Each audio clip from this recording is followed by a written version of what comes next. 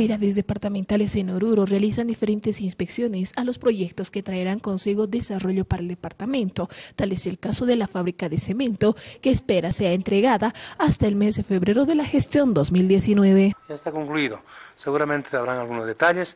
Lo importante es que en el transcurso de los próximos días estamos reuniéndonos con nuestro hermano presidente Omar Alzheimer para agendar la entrega de esta fábrica es decir, la puesta en funcionamiento que va a ser con motivos de nuestro aniversario del 10 de febrero.